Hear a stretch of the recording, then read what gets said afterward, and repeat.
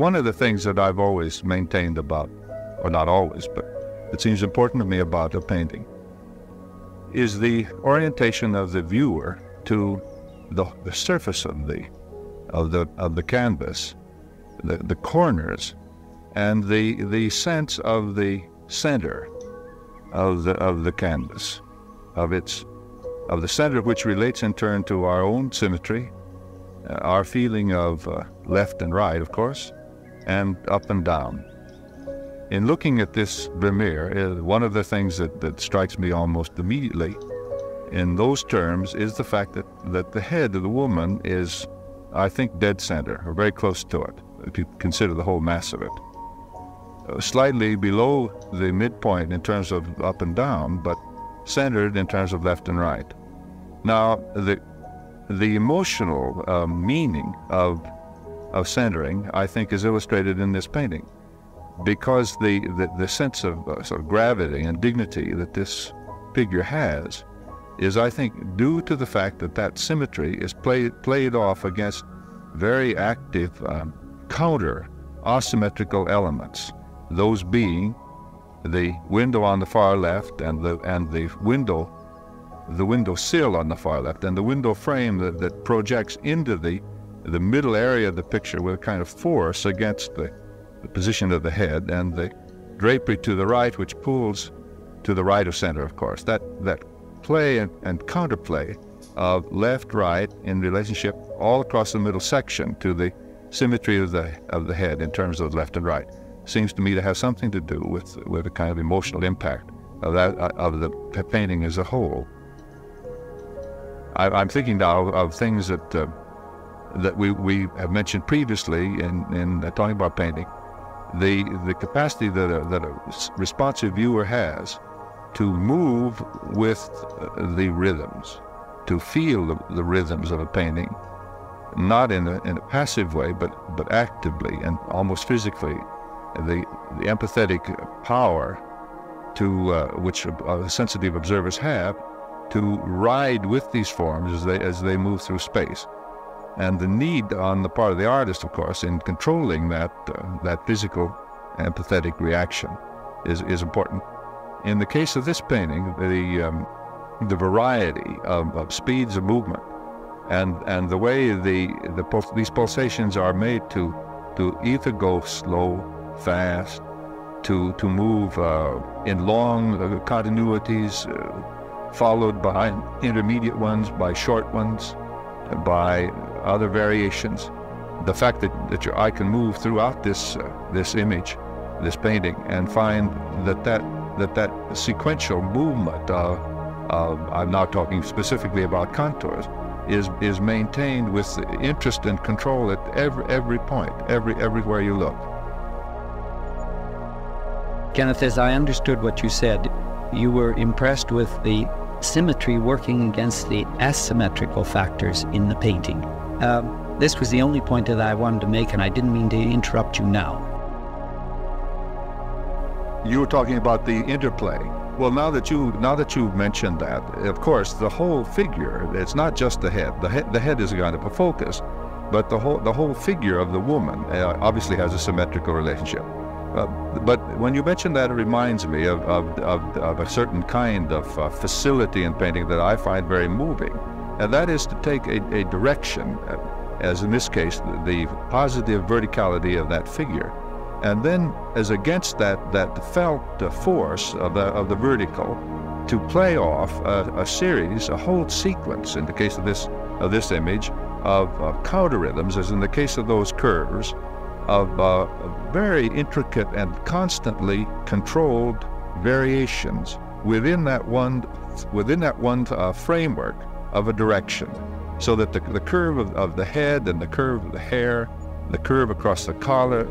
the, the, the small golden uh, variations within the black of the sleeve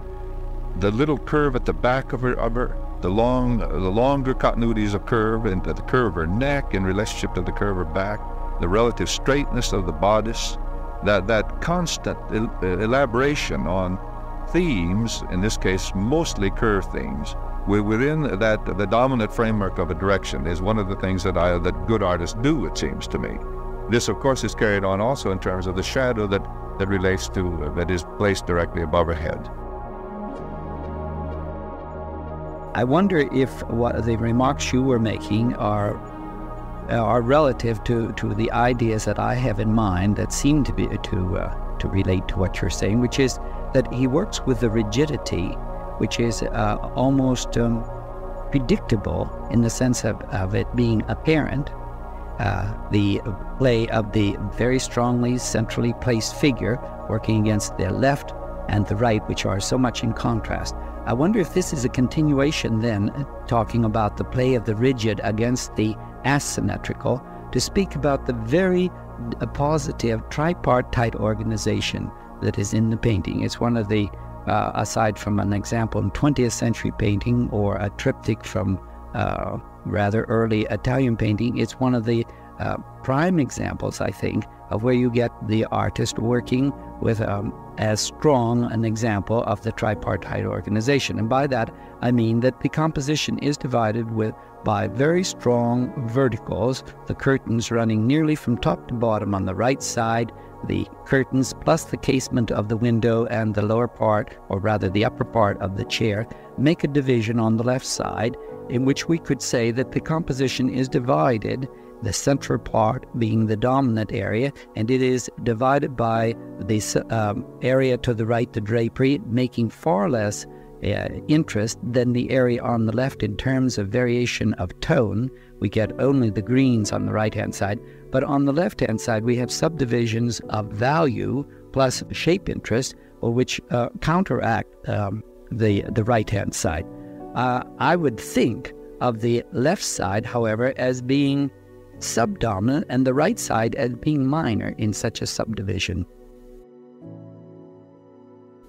The painter here has centered our interests in such a way uh, that he makes a division running through the middle of the composition, having then a side to the left and a side to the right. And in my opinion, the side to the right uh, with the drapery does not make as many demands on me in one way as the subdivision on the left hand side. Uh, in another way, it's almost a contradiction because he makes new demands and different demands. And I'm wondering if this uh, balance of working one thing against another, as in this case, a large area of the greens here where there are um, uh, a variety of linear changes. Uh, plus configurations which are repeating motifs that are found elsewhere. I wonder if that uh, doesn't make a strong uh, impression in terms of its initial importance, and then it seems to fade, or rather is superseded by uh, the interest that the left hand side takes, which does not have uh, the swinging, sweeping curves in it. Uh, running from top to bottom, the curves seem to be only at the top and only at the bottom. We have to move out of that section, moving over into the area to the center before we get the repetition of the curves. The way I read it is to read then the center division with the figure and the blank wall in back of her as being dominant, and the area to the right, the drapery, as being minor, the area to the left, including the casement of the window, to be subdominant. I think the interesting change uh, takes place in that the drapery makes immediate demands on us, being the longest and most unbroken lines in the composition. The tone of the green is very close to the tone in the sleeves and bodice of the lady, as well as the configurations are on a smaller scale, but not only relate to her in terms of the diamond formations that we see, but if we look into the window in the casement, we find that in the upper part there are variations of this in the mullion window itself. That thing you just mentioned about the repetition of motifs continues in more ways than one uh, throughout this thing. In some cases, as you mentioned, it's more or less arbitrarily organized within within drapery, but it occurs also either diamond shape or wedge shape in the little in the in the what do, what do you call those things that hold the no not the mullion I seated the mullion it's it's in the chair,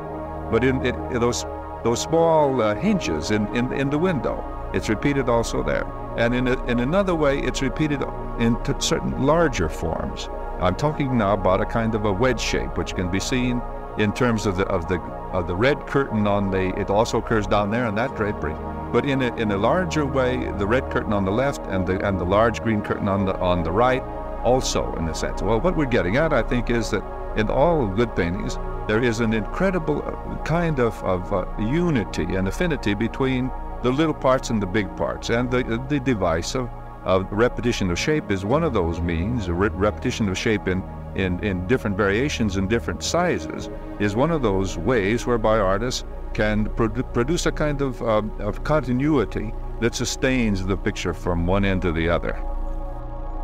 I, I think we're in absolute agreement that the artist uses his concern, or not uses his concern, but rather uh, has his concern uh, for uh, elemental expression or concern for the principles in order to give greater meaning to the painting. Specifically, we have a lady here who is reading a letter. The whole atmosphere of the room is such that it seems to be quiet and conducive. She doesn't seem to be uh, having any distractions either within the room or outside the room, and the window is open. There, there appears to be no distractions. What I find particularly interesting in this painting is that the artist manages to convey this sense of quietness or placidity in terms of the natural setting uh, uh, you know, the representational values. On the other hand, he does such extreme things in upsetting this, almost uh, guaranteeing that it cannot happen. For instance, the wall in back of the opened window and the lady uh, is partially obscured by the curtain and uh, the window itself, as well as the lady, and we think of it as a rectilinear shape, uh, probably repeating the rectangle of the canvas itself. And it may, at first glance, seem to, to, to lack uh, interest uh, in shape compared to the other ones. But we find out that he has managed to subdivide it or break it up in so many interesting ways that when you begin to follow some of the subdivisions, it, uh, re- it really uh, impresses you that he manages to hold on to this sense of order and uh, uh, placidity that I referred to originally. I'm thinking of how he breaks the contour in these larger divisions, but this whole thing seems to be broken to begin with in a, in a shape device, which is usually characterized by, by two straight lines at a right angle, then an opposite side turning into a curve. We get variations of this, for instance, in the window itself here, and then within this shape it begins, as in here, to become very complicated in terms of a motif which can be picked up in, in different places. While you're talking about that shape, there's something going on there that seems to me uh, very important, and that has to do with the, the, the way these spaces breathe, the, the vertical of the, of the window as it projects into that space, and the space made by that vertical edge with the contour of the woman's uh, forehead and nose and and breast and hand and letter, as those active forms roll down there, working against that rectilinear shape, it seems to set up a certain kind of tension, but without without the clutter. The, the that if you look at that whole that whole shape you've been talking about, the shape of the wall, it has a kind of, of breathing quality about it, and of alternations of tension and, and relaxation, of open spaces and dense spaces. In fact, wherever you look in this painting, you, you, find, you never find a sense of, of awkwardness or clutter. You, you, move, you move freely. Uh, if we're now just talking about the, about the linear rhythms, they are all articulate in the sense that, that nothing, nothing interferes with anything else. And yet it's, they're very exciting, but there is a kind of, of sustained clarity and purity about the way these forms work together, making these uh, diff- different kinds of tension, relaxation. You were talking about, about the vertical uh, division and mentioning that, that it's possible to feel a, a counter rectilinear element that works uh, horizontally. And I feel that too in terms of the, of the position of the window on the left, of that strong light value. And then a kind of, uh, of mass of light on the wall to the right of the woman. And then a certain sense of that continuity in the, or is it? I'm not so sure that it is in the green curtain on the right. I, I have a feeling that it stops at the edge of that curtain. But anyway, I think there is a, a kind of felt rectangle, including these light elements, that acts as a counter to the vertical. Is that the same thing you're talking about? Yeah, okay. How impressed are you by what I was referring as the implication here of that? Does it exist for you at all? Mm. It does not exist for you. Oh, I see. The the um, vertical segmentation is obvious compared to what I think happens in the horizontal divisions. I think they are, in general, more of an implied nature. But I do feel that if we can accept the repetition of the image as constituting a sense of the horizontal and through the central part of the composition, the image in the mirror of the lady who is reading, uh, it's not a mirror, the image in the in the in the window glass, we have a reflection of her face so that we get a repetition of similar um, uh, configurations which make for me a strong horizontal, although an implied one. But we have below there immediately the uh, important uh, rug on the on the table as well as the axis of the table, which reads as a horizontal.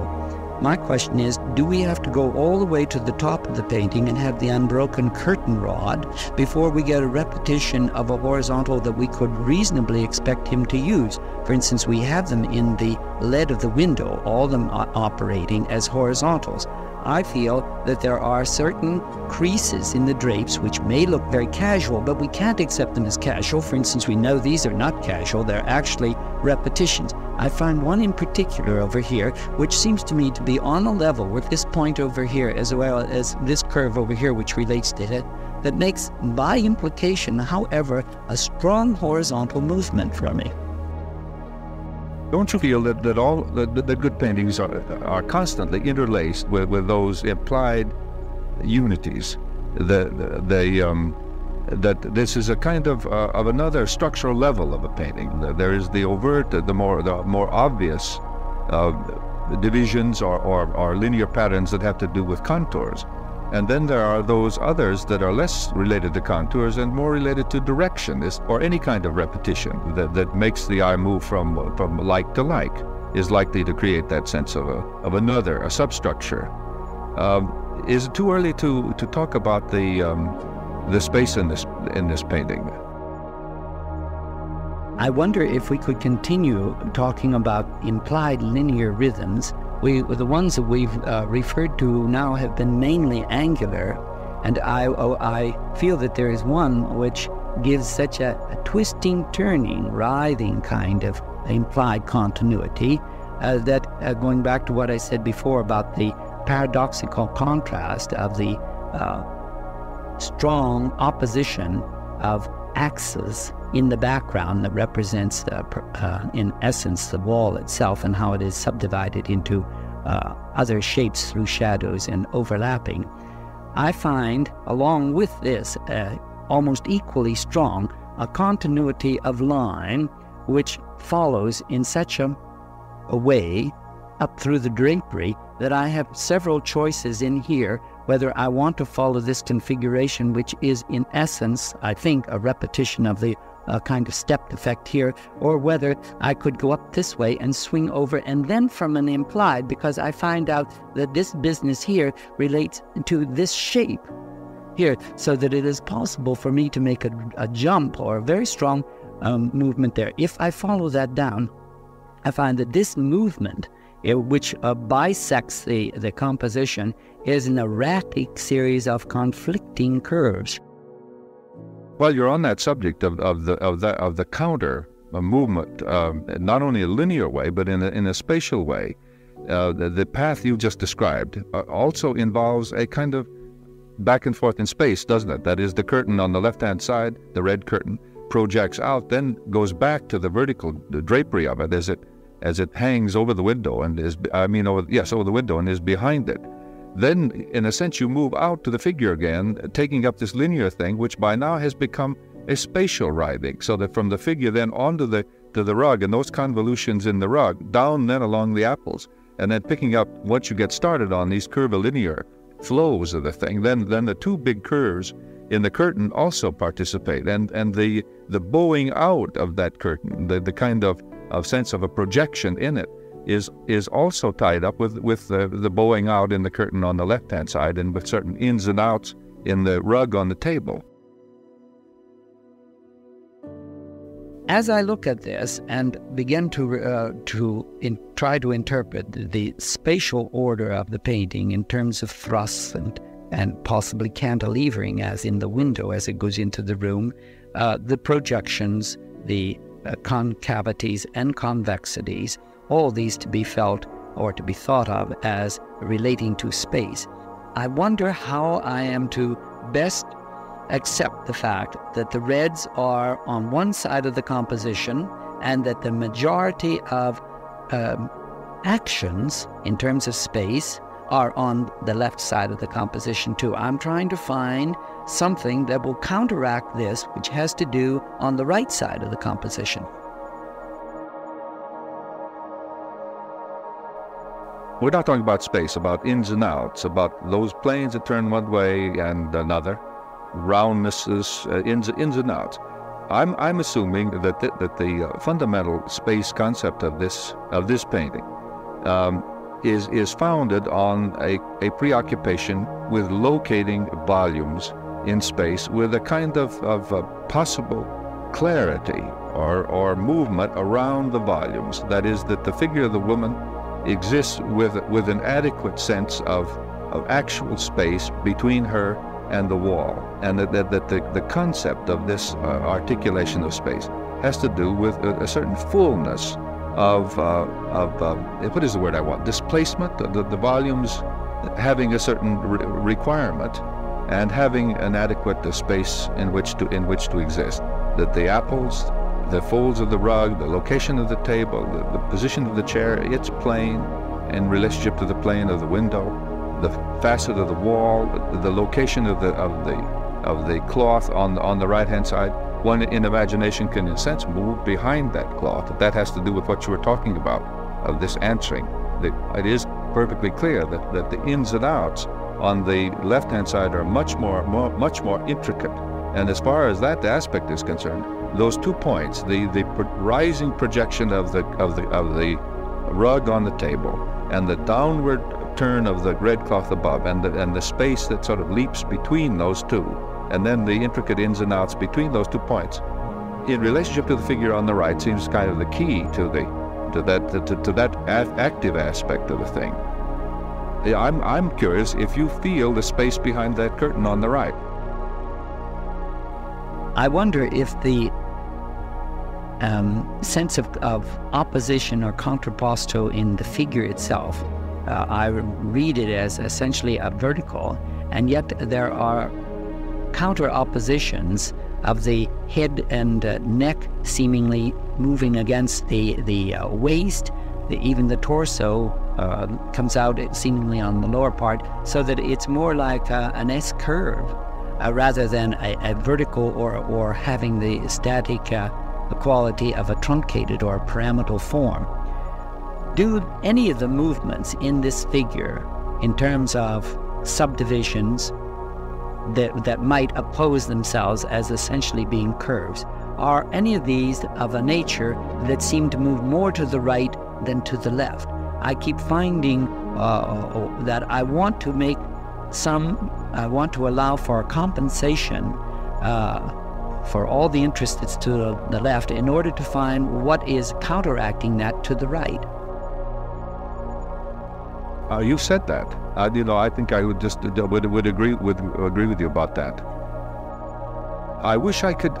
could say what uh, what's on my mind about about the, um, the, the volumes of this thing, and, and you were mentioning the the rhythm down the the front of the figure. Reading that as as an egg-shaped mass, and the the in relationship to the hands and the and the piece of paper, I find that very beautiful. The, the sort of massiveness of the head, the progression down the front of her, and then finding that, that kind of cave-like or valley-like uh, enclosure that the hands and the paper make in terms of the mass of the head. And in reading the, the definitions of space in there, then looking back at the window and the, the point of the window, that right angle, in relationship to this, this hollowed out section that I've talked about. The hollows and, and bumps of this thing having to do with a thing you mentioned earlier on the right, far right hand side of that recessive area in the curtain, having also to do with the projection of the red curtain on the left hand side and the, the, the rounded mass of the rug, and then the indentations that are cut into that, as well as the roundnesses and indentations of the apples. I, I think this thing is, is as clear as it could possibly, possibly be in every part in terms of that, of that, of that definition of space. It is the, I said this before, the clarity, the clarity of, of that spatial order that makes it, makes it seem so artful. By the way, it is a very formal picture, isn't it? It has, has that quality of, of artfulness in the extreme, it seems to me. I think that the painting has a deceptive clarity as well as a deceptive simplicity about it. Maybe the clarity isn't deceptive, but the simplicity is. I think that the layman, in looking at this, might only concern himself with what meets the eye, so to speak, that the lady is here by a window reading a, a letter. Any kind of investigation shows that there's almost no shape, no um, tone, no direction that uh, not in there through um, a kind of intuitive sense of what is right for the composition. An element in this that we haven't touched on has to do with, with light and the use of light. Uh, it, it has a quality of being infused with light, uh, relating, of course, to, to modeling, re- relating somewhat to Vermeer's technique, which, uh, in a sense, antedated Impressionism. If, if you look at this reproduction or look at the Vermeer closely, you see that he applied the paint in, in very small dots in certain places with, with thicker paint than in other places. And those tiny little vibrating dots are, are obviously put there to, to catch the light and to create a sense of vibration. Although that, that, of course, is just a detail of the technique. But the, the way the light is used in this case, one can talk about the light in terms of the light and dark, the distribution of, of lights and darks, the same, the same complete control and ordering of these of the elements, uh, the weights of light and dark are, are clear in the thing. But the light is also used as a plas- plastic element. That is, it, it is it is modulated and moved about in a very arbitrary way, in in order to to define space and to and to fill the the whole the whole canvas with a sense of of a light that comes from within. It has, in a sense, two meanings. That that, that sense of of a sort of glowing from within and the other having to do with the, with the plastic organization. By plastic, I mean the manipulation across the surfaces into, and into space of the different forms. Part of my my worry before was the, fact that it didn't seem to be uh, strongly enough stated by me that the right side of the composition is minor and does not uh, take um, importance over other parts and you're mentioning the, the light at this point makes me more aware than I probably have been at any one point that the light is moving from left to right, and this direction of the movement from left to right makes the right side of the composition more important than it does at any time if I uh, exclude this consideration of light and the movement of light.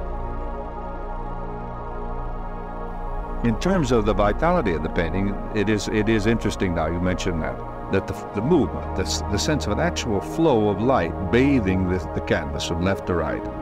makes the, the location of all those things to the, to the left even more dramatic, doesn't it? It is that counter relationship one thing to the other.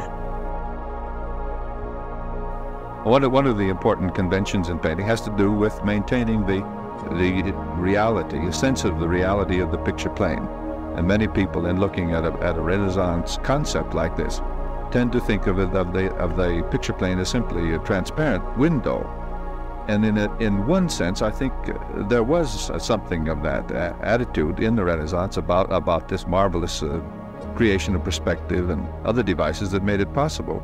to create the, a sense of volume and, and distance on a two-dimensional surface. But the artists nevertheless manage, in spite of the fact that, that they are dealing with, with projections into space and masses existing with atmosphere around them, somehow or another manage to maintain a sense of the, of the real two-dimensional thing upon which the picture is, is created. In the case of this Vermeer, I think it's, uh, he achieves that sense of the, of the surface by balancing the things that go back with the things that move forward in such a refined way that together the, the recessions and the projections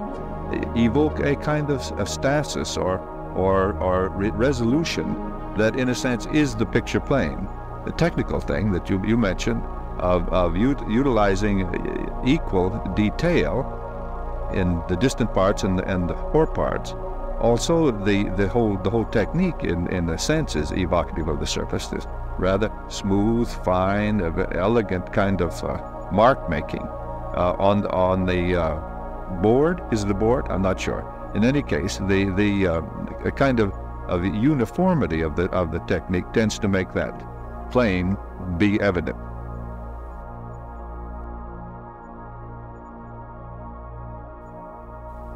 I think I should have said in the beginning, Kenneth, that this painting gives me a particular sensuous pleasure, and looking at the shapes that are in essence as purely abstract as anything in 20th century painting or sculpture. I'm referring now to something uh, in, in terms of um, a sequence which is remarkable for its richness of contrast, and that is the center part which includes the drapery and comes down by the uh, division of the, of the casement of the window and the frame itself, and carries through in the swinging lines of the uh, fruit on the table, and then comes up on the, the line of the drapery on the right hand side. I find one of the pleasures of this painting for me is for being able to contrast that. It's almost as though I isolate it as a pure abstract shape, and it gives me a great deal of pleasure to, to um, relate that to the rectilinear form of the drapery, and then going almost immediately in this uh, series of relationship to the extreme side where there is an elongation of something that is so uh, almost mechanical in the repetition of the intervals, which in their overall form make a very clear, concise rectilinear form. All of these, of course, having in, in, in general a vertical axis which relates to what you were saying in the beginning, the placement of the figure in the center, which of course is an upright figure. You know, you mentioned something, and might as well in, introduce a note of argument in this. Uh, you referred to that as a rectangle, whereas in, in fact it is it the curve of the right on the right hand side. This this in a sense goes back to that that kind of arbit, the arbitrariness of the of the vertical tripartite segmentation. Um, the fact is that that is a the, of the quality of that thing is that grand curve, and it is that curve in relationship to the shorter one on the of the red on the left hand side, plus the uh, the straight edged uh, angularity of the of the window as it projects into that space, plus the, the true verticality of the sash of the edge of the of the window that contributes to, to the richness of this. Do you know what I'm talking about? I think I do, and I, do, I don't think it's a, an argument. I, um, when I read the left-hand side as being rectilinear, it, it's a long, narrow shaft, which, with, of course, the, the curves at the top, which I cannot possibly uh, separate or isolate. But I feel that this is a complement, as it were, to the to the green a shape on the right, which again has a strong vertical axis, but which is composed of strong curves within it. So that if, if there is uh, a feeling of the of the force of the curve in the upper left, there is also a reciprocal feeling of a curve in the uh, whole axis of the green on the right. In, in the beginning, uh, you, you made the point that uh, I think uh, has to be made in the beginning, and that is uh, we have an example of the artist uh, accepting the challenge of what uh, are, in many instances, the limitation of the symmetrical because of the encasement and the static nature of symmetry. And he uses that as a kind of a fulcrum on which he balances interplays and contrasts that work against the symmetry. In other words, having established that which is alike in the sense of weight, he immediately begins to, to show the dissimilarities within not only weights but lines and up to this point, I haven't thought of it. Uh, I, have thought of it, but I haven't mentioned it. And I'm sure you've thought of it, but I don't think either mentioned it. He has based his whole composition on um, a temperature a contrast between the warmth of the reds and the coolness of the greens, which is just as diametric as what we were saying. We haven't even mentioned the color, the color organization of the thing either. You mentioned earlier the, the dominance of, of red on the left-hand side. And the, there is a kind of shape, isn't there, made by red. And in this case, it's a, it's a, it has a kind of triangular character, the broad red base at the bottom and then the tapering of the red at the top. And if you look at, at the, the green, for, for example, in her sleeve, the yellow green and the green apple, and the green curtain on the right, there's a kind of a counter triangle in green, so that in almost a symmetrical balancing of, of red and green, both at rather low intensities, with, with, the red more higher intensity than the green. But um, oddly enough, in terms of, of the basic location, massing of the color into a kind of, of symmetrical play across a, almost, a, maybe I'm exaggerating this, I sense at least a kind of a diagonal triangular red element on the left-hand side and a counter one uh, in green on the right-hand side, balancing. Okay.